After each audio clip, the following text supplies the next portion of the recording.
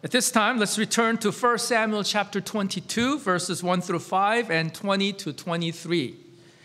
Last time, we dealt with the middle section, but today we will deal with the section that is uh, covering uh, those, the, that middle section. So today's scripture reading comes from 1 Samuel chapter 22, verses 1 through 5 and 20 to 23. This is God's word. David departed from there and escaped to the cave of Adullam. When his brothers and all his father's house, house heard it, they went down there to him. And everyone who was in distress, and everyone who was in debt, and everyone who was bitter in soul gathered to him.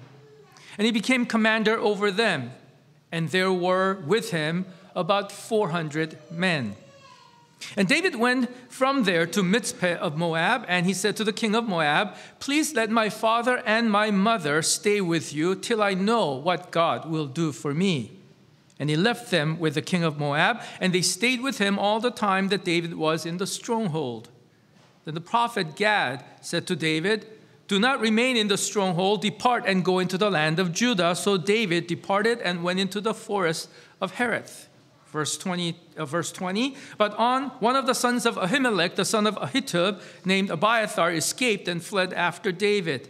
And Abiathar told David that Saul had killed the priests of the Lord. And David said to Abiathar, I knew on that day when Doeg the Edomite was there that he would surely tell Saul, I have occasioned the death of all the persons of your father's house. Stay with me. Do not be afraid, for he who seeks my life seeks your life. With me you shall be in safe keeping. Amen. What kind of people do you attract? And what kind of people are you attracted to? When you consider the people in your life, are you grateful or are you resentful? Are you proud of them or ashamed of them? Regardless, why do you think God brought them to you? We cannot help but ask such questions as we read today's passage. So let us examine what kind of people came to David and why God brought them to him. In doing so, we will see how this was God's gracious provision for his servant David and how it applies to us. The last time we saw David, he was all alone. He had to flee from Saul in a hurry. He had no weapons or bread. Neither Jonathan, his friend, nor Michal, his wife, could do anything to help. He couldn't even go back to his father's house. He came to Ahimelech, the priest, to get some supplies, and all alone, he had to hide in the cave of Adullam. Do you wonder how he felt? We get a glimpse of that in Psalm 142, which he wrote when he was in the cave. With my voice I cry out to the Lord, with my voice I plead for mercy to the Lord. I pour out my complaint before him, I tell my trouble before him. When my spirit faints within me, you know my way. In the path I walk, they have hidden a trap for me. Look to the right and see. There's none who takes notice of me. No refuge remains to me. No one cares for my soul. Verses 1 through 4. That's dark and bleak. How can we blame him? We all know that it is easy to absolutize how things are or how we are feeling at the moment and think that this present will always be our reality. But time never stops. This too will pass, as they say.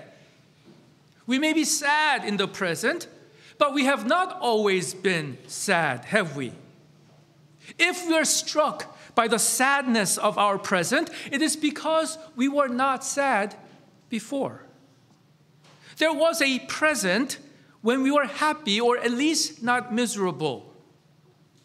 If we came to our sad present from a better present in the past, the sadness of our latest present too will turn into something else. Is this just the reality of living in a world of constant change? What goes up must come down, and what goes down eventually bounces back. Life seems like a roller coaster ride. Keep in mind that this world of change is also a world of decay, with all lives eventually ending in the grave six feet under. Is our life nothing more than a roller coaster ride, simply going up and down without any meaning and purpose until we get off at the grave?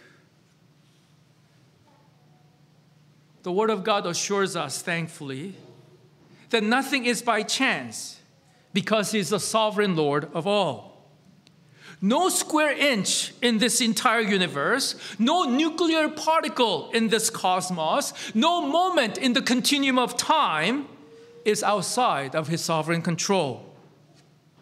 Nothing can happen in this world unless it was first conceived and decreed by the eternal counsel of God before the foundation of the world, who declared the end from the beginning. Isaiah 46:10. David was all alone. That was his present for a time. But a new present came to him as suddenly as he became alone. Verses 1 and 2 And when his brothers and all his father's house heard it, they went down there to him, and everyone who was in distress, and everyone who was in debt, and everyone who was bitter in soul gathered to him. And he became commander over them, and there were with him about 400 men. David was not alone anymore. He was 400 times not alone, and even more if their families came with them your present circumstances can change as suddenly as David's. So don't be proud and complacent because things are going well, and don't, be, don't despair because things are going bad.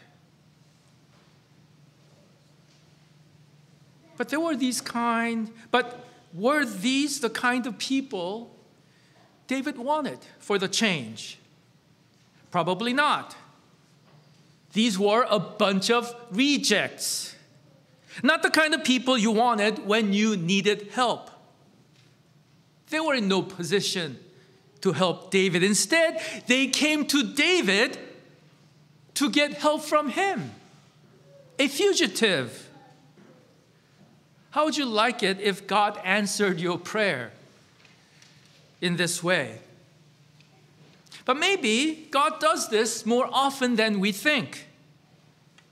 I asked for strength, and God gave me difficulties to make me strong. I asked for wisdom, and God gave me problems to solve. I asked for prosperity, and God gave me brawn and brains to work. I asked for courage, and God gave me dangers to overcome. I asked for patience, and God placed me in a situation where I was forced to wait. I asked for love, and God gave me troubled people to help. I asked for favors, and God gave me opportunities. I received nothing I wanted, and I received everything I needed. My prayers have all been answered. David might have said, I want help. But God said, You need to help these poor and desperate people, 400 of them. We are prone to self pity. Self pity is a bottomless pit. Its insatiable appetite cannot be gratified no matter how many people help how much encouragement and praise people give. So, one of the best ways to cure self pity is to care for other people. When God brings others' needs to our attention and we obey the call to help them as the very hands and feet of God, then we realize that we have been blessed so much more than we have ever thought. That feeling bankrupt is not being bankrupt. And even if we are bankrupt, God can make even bankrupt sinners useful for his purpose. After all, it was never to be done by our might or our power, but by the Spirit of God. God wanted David to be a different kind of king from Saul. God wanted David to be a shepherd king who took care of the sheep of Israel, even the weakest and most miserable. But ultimately, the reason that God brought the riffraff was to lift David as a type of Christ.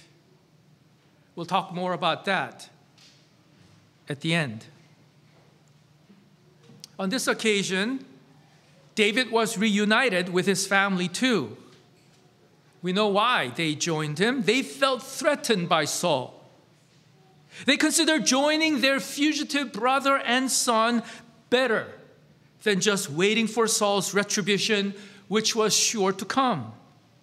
Could it be that the final they finally embraced Samuel's anointing of David as Israel's new king? Maybe in the beginning they did not take it seriously because David was still so young. And the fulfillment seems so unlikely and far away. Do you also remember how Eliab, David's oldest brother, sharply and harshly rebuked David for not taking care of the sheep when David came to the battlefield and spoke disparagingly about Goliath, chapter 17, verse 28? Would Eliab have done that if he believed that David was destined to be Israel's future king? Maybe the brothers were jealous of David too. Should they serve their youngest brother as their king? But you see, the dire situation which recently fell upon them drove them to cling to God's promise regarding David. You know how that is. When we are not poor in spirit, God's promises, however abundant and glorious, do not excite us. We are so full of ourselves that our hearts have no room for God's blessings. That's the problem with pride. Only when we are poor in spirit are we ready to cling to God and His promises? I'm not saying that we must be in trouble to be poor in spirit. Some people refuse to let go of their pride and self reliance no matter how hard life gets. Others, though very few, manage to remain humble even though they seem to have everything in life. But for most people, it takes a huge problem to open their eyes and hearts to the promises of God.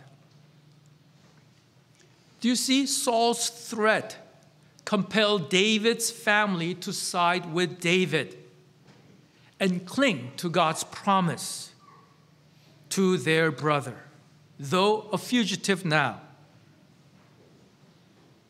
that he would be Israel's next king. I'm not asking that we should ask for trouble, but I am saying that because we belong to God, even when adversities come, they are there by God's providence to help us see the surpassing greatness of God's promises to us in Jesus Christ. If we are in Christ Jesus, we can't lose. Because, if, because even bad things that happen in our lives work for our good. But I also need to warn us not to hold on too tightly to what we have. If we do, we will be too busy mourning the loss of these things to see and embrace God's magnificent promises. The quicker we let go, the sooner we will see why God took those things away from us. there seems to be another positive effect that God was working into this dire situation. Notice how this family reunion is described in verse 1. And when his brothers and all his father's house heard it, they went down there to him. Interestingly, David's brothers are mentioned first, even though his parents were there too. Why this emphasis on the brothers? to highlight the reconciliation which this reunion brought about between David and his older brothers, including Eliab. Maybe when Eliab spoke harshly to David, he spoke for the other two older brothers too, who were there with him, chapter 17 13. After the reunion, this reunion, we no longer hear of any conflict between David and his brothers. It is true that we don't hear much about David's brothers from this point on, period. But we read in 1 Chronicles 27 and when a Philistine giant, Philistine giant taunted Israel, Jonathan, the son of Shimeah, David's brother, struck him down. We can assume that from this point on, this, from this point of reunion, the brothers stayed and fought together side by side, watching one another's backs as brothers should. Do you see? It took them this major crisis to be brothers indeed. Can we doubt that God used this crisis to bring David and his family's reunion and reconciliation? How are you responding to the crises? in your life.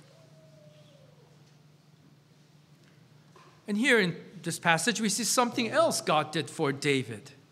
Then the prophet Gad said to David, Do not remain in, the, remain in the stronghold, depart and go into the land of Judah. So David departed and went into the forest of Hereth. Can you imagine how welcome this divine direction was to David? When we feel lost and confused, what can be better than God's clear direction for what we need to do? Few things feel more miserable than not knowing what to do. But when we know what to do, we feel so much better even if what we must do is difficult. This is not to say that God was not involved in David's life before Gad came to David.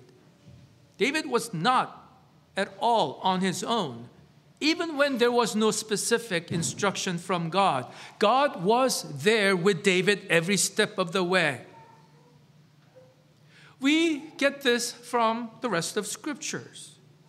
If God declared the end from the beginning, Isaiah 46:10, if he chose us before the foundation of the world, Ephesians 1:4, if he works all things according to the counsel of his will, Ephesians 1:11, and causes all things to work together for his glory and our good romans 8:28 so that not even a sparrow falls to the ground apart from his will matthew 10:29 if he numbered our days psalm 90:12 and if he knows even the number of the hairs on our heads matthew 10:30 how could anything david did be outside of god's sovereign will which, by the way, allows even bad things temporarily for the ultimate and complex good. Then why did God send Gad to David to give this specific instruction? He could have arranged David's circumstances to make him go back without this special revelation, could he not? Of course. But God did it to assure David that he had not abandoned him, and he would provide the guidance and protection he needed, both directly and indirectly, to fulfill his promise to him. Do you see why this direction was so valuable to David at this time? It was not simply because God was his divine Google Maps conveniently showing him the quickest and the most fuel efficient route to Israel's throne. The true value of this divine direction had to do more with the contrast it provided between David and Saul. God sent the prophet Gad to David, but God withdrew the prophet Samuel from Saul. God provided divine direction to David, but God kept silent with Saul. I'm sure David appreciated the practical value of this direction in this uncertain time of his life. But the narration of this story directs our eyes beyond the practical convenience to the assurance of God's presence and involvement in David's life and in our lives. God assured David that even in those dark days, he had what Saul did not have God's presence and guidance. David had to learn to value these things much more than the crown he would eventually receive. Saul exemplified how empty a crown can be without God's presence and guidance. What do we prefer? To sit on the throne without God's guidance and favor like Saul? Or to be on the run but have God's guidance like David? I hope the choice is obvious. And I hope you know how you have so much more than what David ever received. What he got was like individual pieces of a jigsaw puzzle. But you have received the full jigsaw puzzle with all of its pieces in the Word of God. Not to mention the Holy Spirit who is there to illuminate our hearts to understand His Word. So, would you rather have these little pieces of jigsaw puzzle for your life?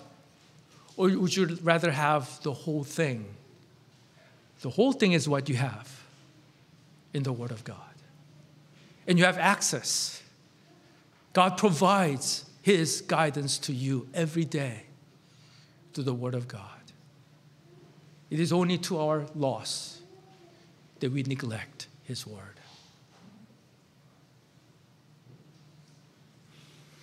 And isn't it interesting that God's assurance came not when David was feeling all alone, you would agree that that's when you want God's presence and assurance the most. But not then. But when the 400 came to him for help, and he had to take care of them. God loves us. He wants each of us to experience the peace that surpasses all understanding. But Christianity is not a therapeutic religion whose ultimate goal is our physical, psychological, and spiritual well being as individuals. Can we expect such healing and restoration from God? Of course, but they are not the goal, but a means. If we make our well being the goal, we will end up like the Dead Sea which is dead because it only receives without any outlet to give. When we direct our eyes beyond our well being to something greater, when we embrace the responsibility to care for others and become aware of our deep, desperate need for God's help to do that work of taking care of others, God will not fail us. And as we have our congregational meeting today, that's what we are being reminded of.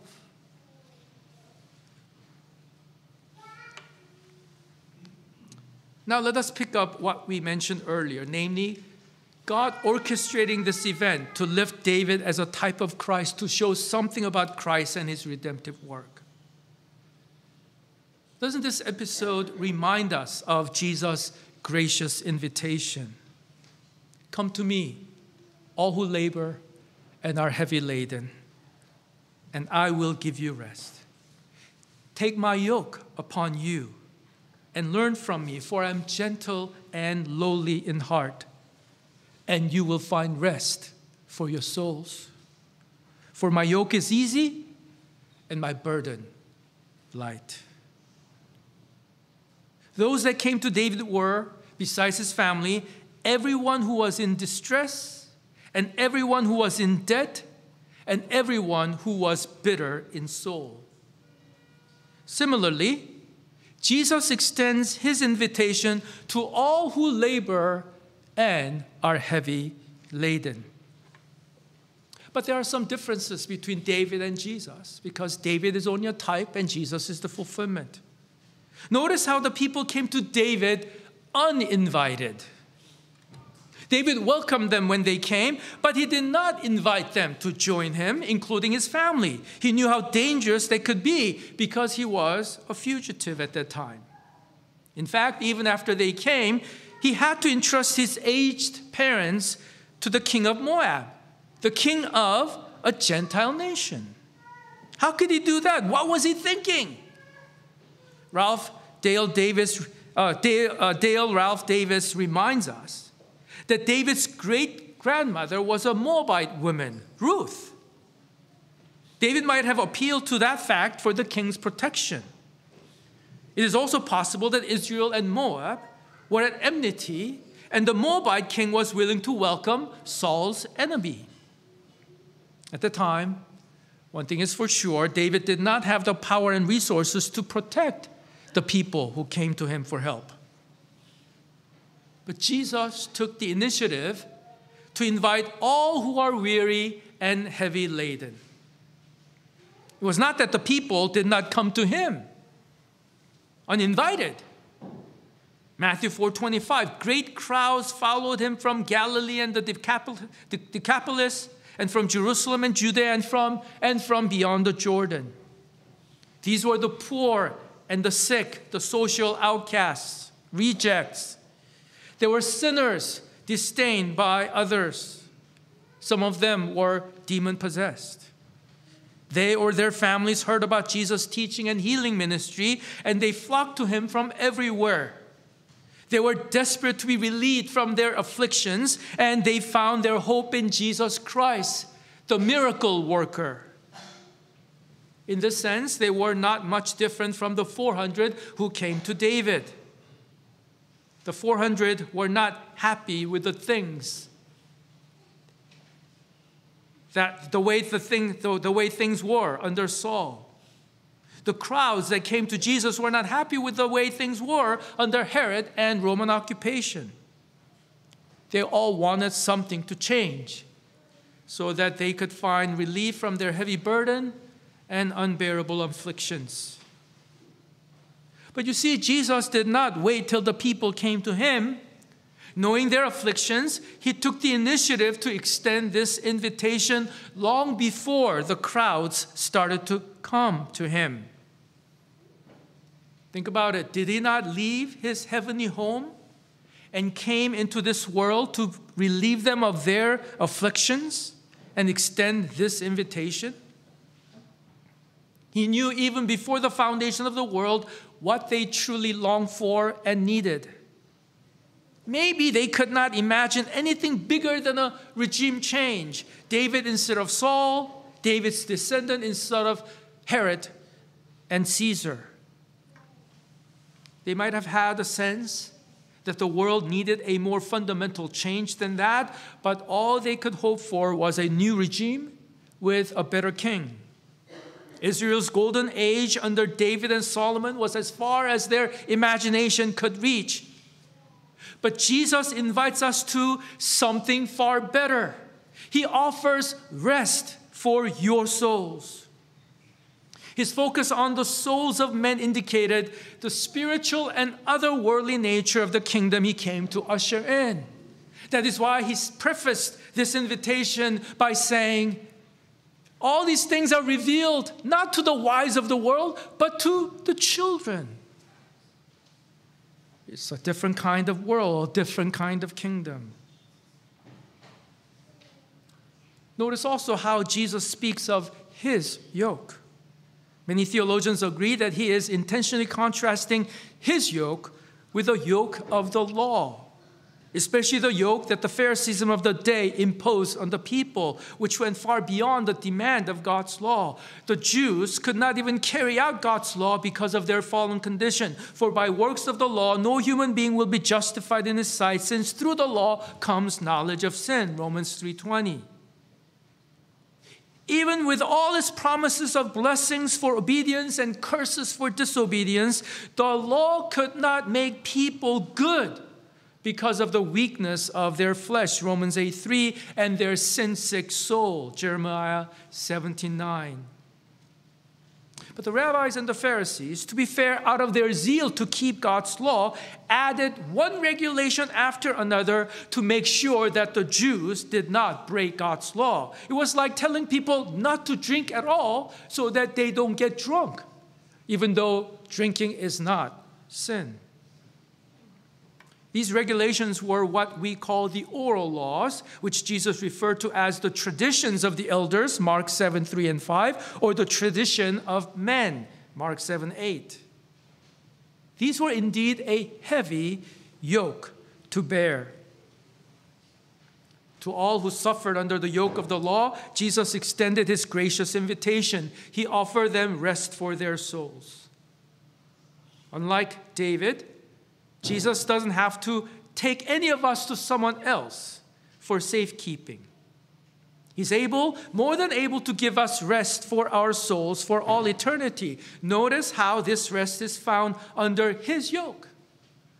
Unlike the yoke of the law, more precisely the yoke of the tradition of men, His yoke is easy.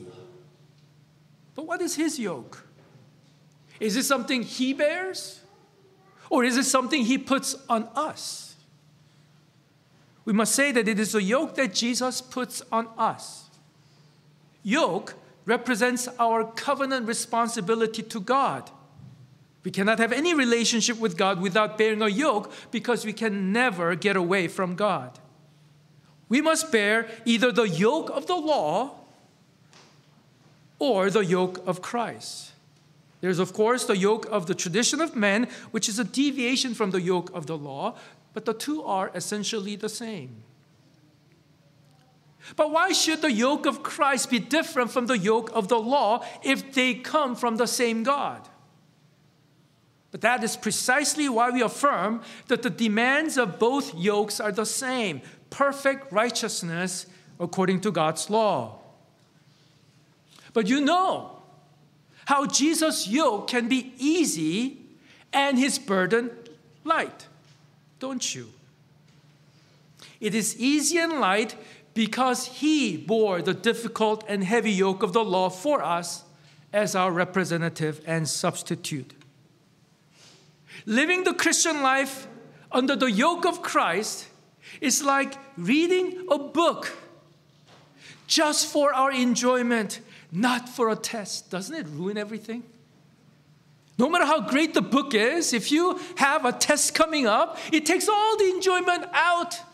But living your Christian life under the yoke of Jesus Christ is like reading a book for fun, not for a test. It's like loving someone not because we need or want something from him, but because we want because we just want to do good by him for his own well-being. Because Christ satisfied all the demands of the law. The law is no longer our enemy or a cruel taskmaster constantly demanding from us what we cannot do the law in Jesus Christ is now our wise counselor, the roadmap to a fulfilling and fruitful life, the wall of protection from the seduction of sin. On and on. We no longer have to be afraid that we will fall short, which we will. But we keep the law to show our love and gratitude to our wonderful Savior. When we bear the yoke of Christ, we will enjoy a closer walk with God. We will also see the beauty and benefit of His law and confess with the psalmist I find my delight in your commandments, which I love. I love your commandments above gold, above fine gold.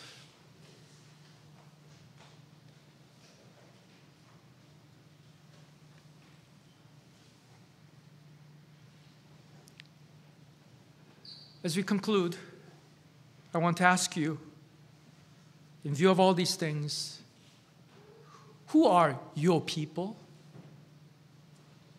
Who do you feel close to? Who do you want to be around? Are you going through a David moment in your life? Having all these people? No help. But they need you, and they cling to you.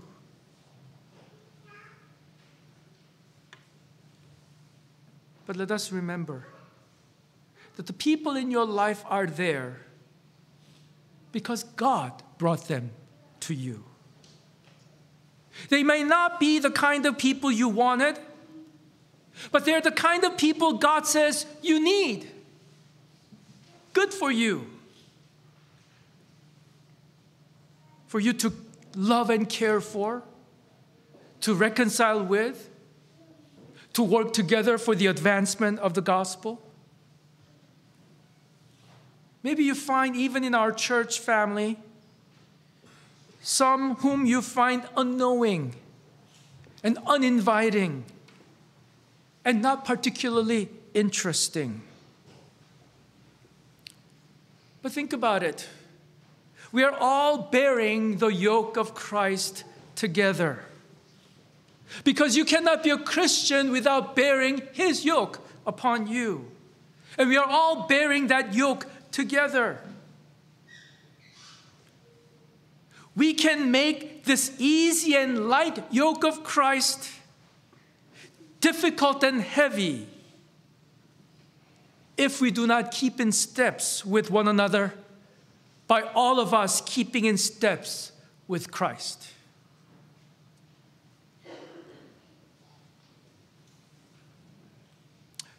Brothers and sisters, as we conclude this year and as we give thanks to God for his faithfulness to us in keeping us together and sustaining us. Let us remember how Christ has so graciously invited us to Himself despite our unworthiness. Let us also remember that Christians, even the most unknowing and contemptible, are God's beloved children, destined for unimaginable glory, even the least of them. No person of honor and power and beauty in this life will come close to the glory they will have and you will have in Jesus Christ. So let us treat one another with gentleness and love the gentleness of love with which Christ has treated us until that glorious day that is reserved for us in Jesus Christ. Let's pray. O Lord our God, we give you thanks and praise for your wonderful invitation.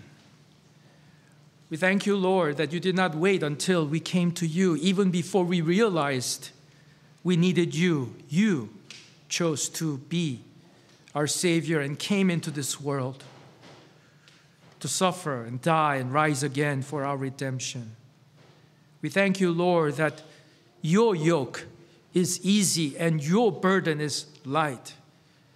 Because we bear this not for our own salvation, but we bear this as your fellow laborers for the advancement of your kingdom, as your beloved children who want to delight and please their Father.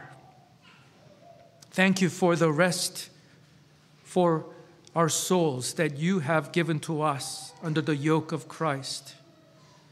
Help us to experience that rest today and remove from our hearts our prejudices and discriminating spirits against others, even those who are among us. Help us, Lord, as co laborers, as those who bear the yoke of Christ together.